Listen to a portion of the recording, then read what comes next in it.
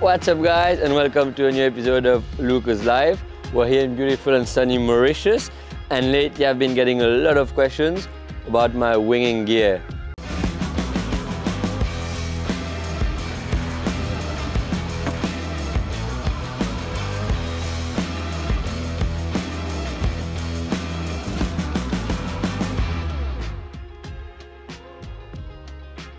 So I have three boards in my quiver, the Hoverwing 30, 50 and 70 liter. So the 30 liter is a 4-2, but I mainly use to prone or, or wing when it's really strong winds.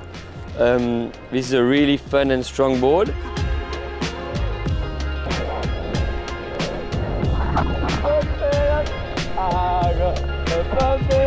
I usually prone with a 75 centimeter mast and a Mach 900 or 1100 but um, that's the one I want to use most of the time. The one I do use 90% of the time though is the Hoverwing 50 liter. This board is uh, bulletproof. This is a 4.6. I uh, wing with it nearly all the time and uh, occasionally prone when I travel with one board only. This is a really fun board. It doesn't have too much rocker, so it glides really well and is uh, literally unbreakable. This board I usually ride um, with my 85 centimeter mast and uh, the Mach 900 or 700. My third board in my quiver is Naish new Carbon Ultra compact wing foil board. This is a 4-1, 70 liter, pretty thick, very short, this board is my uh, light wind board, but I don't use too often out here at home. Um, this board I can use with all my foils. I usually use the Mach 1 700 90% of the time. So um, that's what I have been riding this uh, sweet little board with.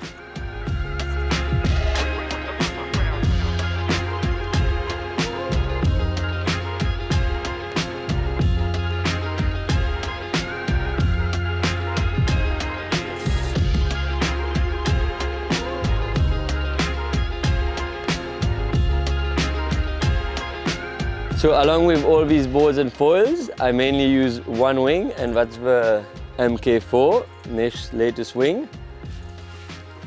This one is a 3.5. I use them in 3.5, 4, 4.5 and 5 meter. It's really nice and light. It has big windows to allow you to see through and nice gentle handles.